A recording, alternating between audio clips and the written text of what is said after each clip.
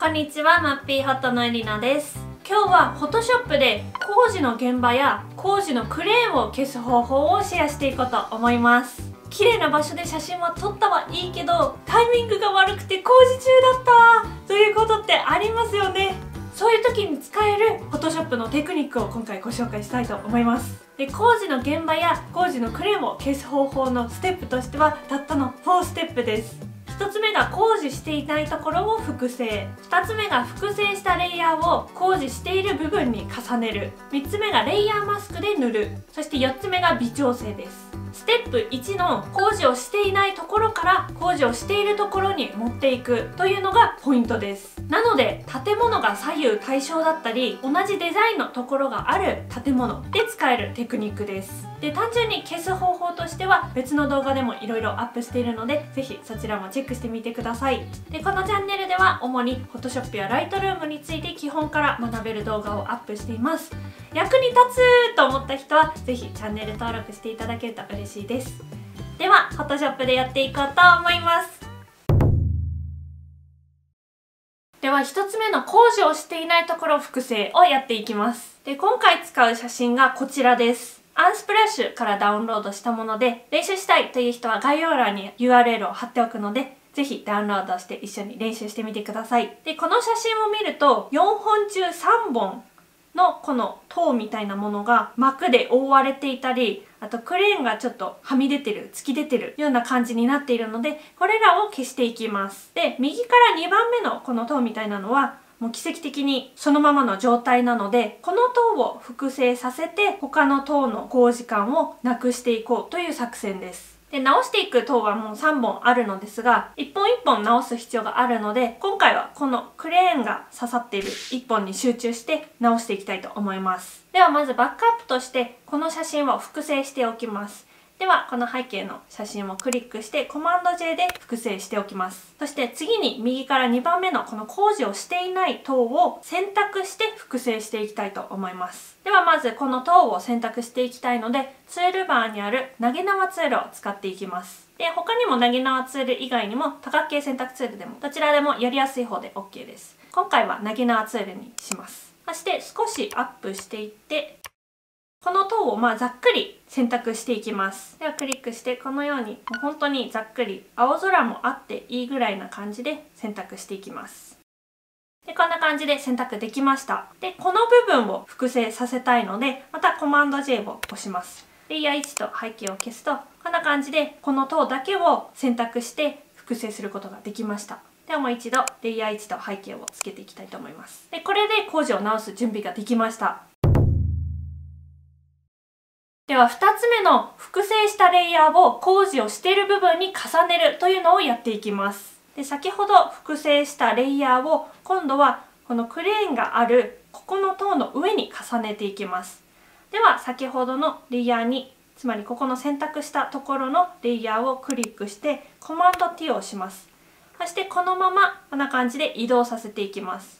でちょうどこの穴があるところがこっちの塔は右だったのですがこっちの塔だと左にあるのでこれを水平方向に反転したいと思います。ではここの上で右クリックをして水平方向に反転をクリックします。そうするとここの穴がちょうど左側に来ました。そしてこのまま上に重ねていきます。でこのままだとちょっと見づらいのでこのレイヤーを押したまま不透明度を下げていきます。こんな感じでぐーっと下げていくと透明感が出るので下のレイヤーも見やすくなります。なのでちょっとアップにして下にかぶせるように合わせていきます。このサイズ感をちょっと小さくして動かしたりざっくり。で角度を変えてみたりなどして、まあ、下になるべく合うように重ねていきます。でこんな感じでもう大体あったらエンターを押します。そして不透明度を下げてしまったのでこれを100%に戻します。これでこの塔を直す準備ができました。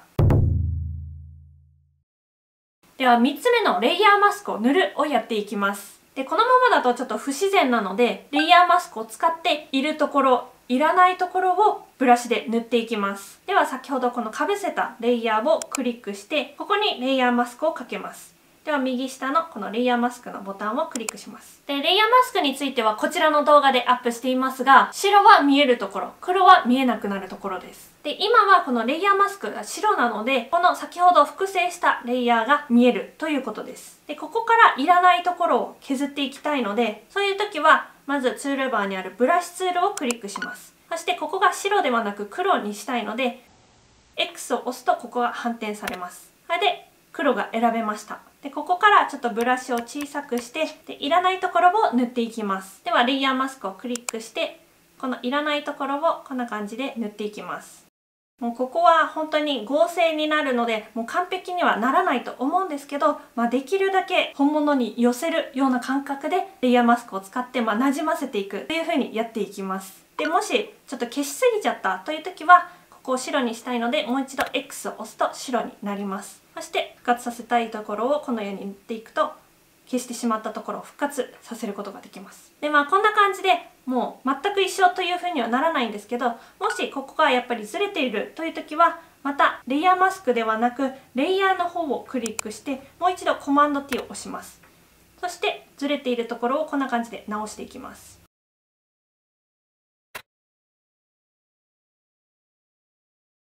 そして下の元のレイヤーを見ながらこのようにこの左の目のところをクリックしてこういうふうに見比べながらちょっとずつやっていくといいと思います。でこんな感じで仕上がりました。では4つ目の微調整をやっていきます。そしてここの塔自体は治ったのはいいのですがここのまだクレーンの部分が残っているのでそこをスタンプツールや修復ブラシツールを使って消していきます。でスタンプツールも修復ブラシツールも以前こちらの動画でアップしていますがどこからかコピーを取ってそのコピーを使っていらないところを塗っていくという感じです。では今回はコピースタンプツールを使ってここのクレーの部分を塗っていきたいと思います。ではツールバーにあるコピースタンプツールをクリックします。そしてレイヤーを1枚足します。そしてこのサンプルのところが現在のレイヤー以下になっているのを確認してまず最初にコピーを取りたいのでオプションを押しながらこの空のところをクリックしてコピーします。そしてこのままクレーンのところを塗っていくとこんな感じで消すことができます。これをずっと続けてこのクレーンを消していきたいと思います。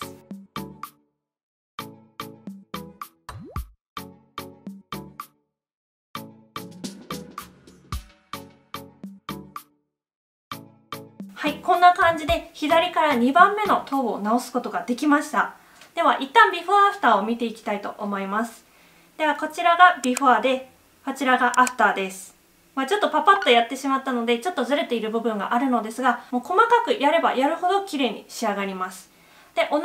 定理でもう一番左と一番右側のやつもやっていきます。では次に左の塔を直していきたいのですが先ほど選択して複製したレイヤーがここにあるのでこれをまた複製していきます。でこれを一番上に持ってきたいのでクリックしてドラッグして一番上に持ってきますでちょっと分かりやすいようにレイヤー2のコピーではなく左の塔にしておきますでこれはまだレイヤーマスクがついている状態なのでこれを消したい時はこのレイヤーマスクをクリックして右下のゴミ箱に入れるとレイヤーを削除する前にマスクに適用しますかというのがあるのでこれを消去をクリックします。そうするとレイヤーマスクが消えました。先ほどの複製したレイヤーをクリックしてコマンド T を押します。そしてまた同じようにこの塔を一番左に合わせていきます。